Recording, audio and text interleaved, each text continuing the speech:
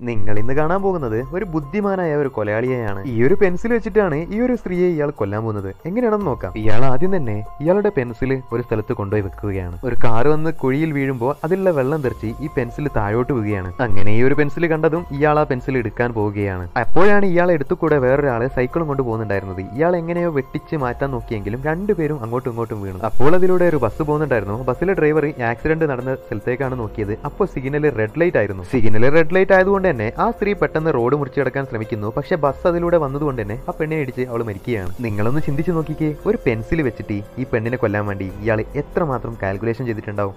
എന്തായാലും ഇയാളെ ബുദ്ധി അപാരം തന്നെ.